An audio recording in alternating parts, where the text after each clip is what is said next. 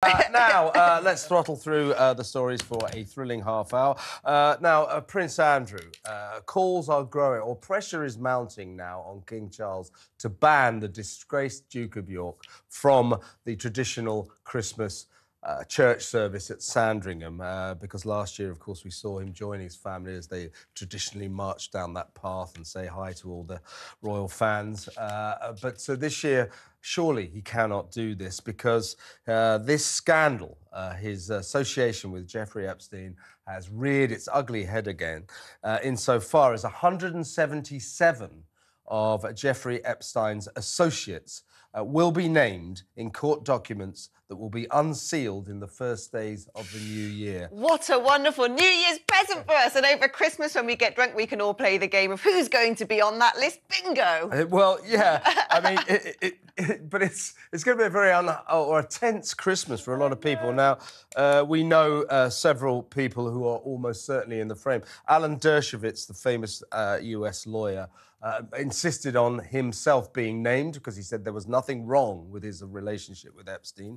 Uh, now, uh, we've read at great length uh, his association with uh, former presidents uh, Donald Trump and Bill Clinton. Will they be named? Apart from that, we must not speculate. But 177 powerful VIP people are going to have a very nervous Christmas. But Andrew, will be named. We know that. And uh, it will dredge up his nefarious relationship with a convicted paedophile. And that will heap more, even yet more embarrassment on the royal family. And uh, Charles, I think, may have to do something about that. Right, Christmas Day the service. ghosts of Caribbean Christmas past will be coming back to uh, haunt Prince Andrew, it seems. And do you know, I can't wait. This is exactly this sort of gossipy tittle tattle. Well, you it's know, a bit come more- through. it's a bit more it than won't that. Be gossipy tittle tattle anymore. That's the point. It will be the more than that. manifestation of the truth. There's nothing we like more than that. Yeah, and by the way, this, the, the, these court documents, Virginia Giuffre, of course, who Prince Andrew paid, tw- paid $12 million uh, because he was completely innocent. He paid uh, $12 million not to take him to court, even though he is, of course, completely innocent. Uh, why did he give her $12 million then?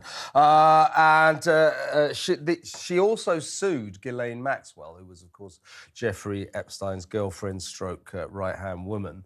And she won that case. Uh, but all these uh, names were enshrined in the secrecy of the case.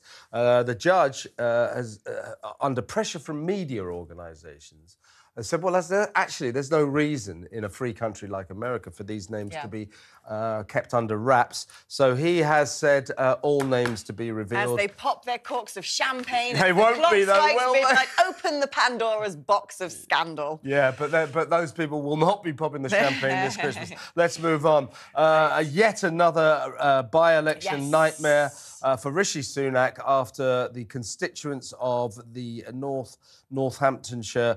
Uh, ca- uh, constituents are what's it called Wellingborough Wellingborough. Wellingborough uh, voted to eject Peter Bone, Hmm. the MP who uh, was found guilty by a parliamentary investigation of bullying his staff and also uh, inappropriate sexual behaviour.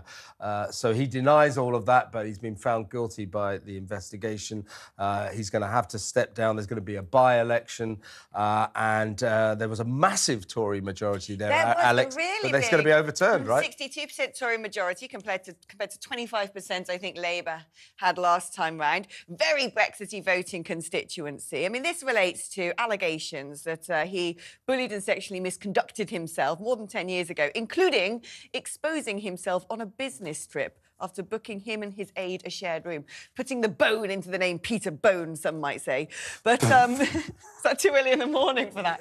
But, little uh, bit. but it's and really also, also, also, also, let's remember, Mr. Bone uh, vehemently denies this. He does vehemently deny it, but that's not saved his skin. And I am sure that this is going to be very interesting because we know it's a general election year. Rishi Sunak has confirmed that the, the election will be next year. We probably assume around October. It could be as early as spring, the traditional time to hold a general election, but it doesn't have to be. But this is going to be a window, really, of what the general election might look like. And if another party happened to beat the Conservatives down into third place, Yeah. Here. Well, that really would be a, a very fascinating political story to set the tone. Yeah, indeed. Uh, that's going to be a fascinating by election. Uh, but meanwhile, uh, some decent news uh, at long last for poor old beleaguered uh, Mr. Sunak, our Prime Minister for the time being.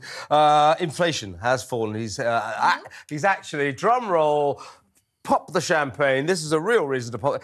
Inflation, he's hit his fl- inflation target. It will Right. be, uh, as he promised, uh, halved by the end of the year. Well, so it's even better down than to, expected. It's fallen actually. to 3.9%. but, I mean, what's uh, pushing this down is actually the cost of certain food products in the shopping basket and second-hand cars. Apparently, they're um, starting to sell very well again. I suppose ULEZ has probably pushed that one uh, into into the foreground. And, uh, And also, don't, don't forget the, Bank of the. Bank of England raising interest rates. That's why it's happened. So this isn't really. suggest the Bank of this England's is, done something This isn't. right. Uh, this isn't uh, much to do with Rishi Sunak, but trust me, he'll take the credit.